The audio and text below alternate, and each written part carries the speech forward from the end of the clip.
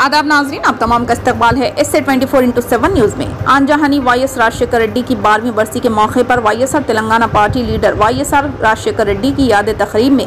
Party रहनुमाओं, कारकुनों और Y S are के चाहने वालों की बड़ी तादाद ने शिरकत की। वाई एस आर की बारहवीं बरसी के मौके पर party state I T wing के कन्वीनर उर्मिला कार्तिक की सरपरस्ती में लोटस पॉन्ड की पार्टी दफ्तर में रोज़गार मेले का अहतमाम किया गया। बतौर मेहमान खसूसी Y S R Telangana party leader Y S Sharmila ने उम्मीदवारों से खिताब किया।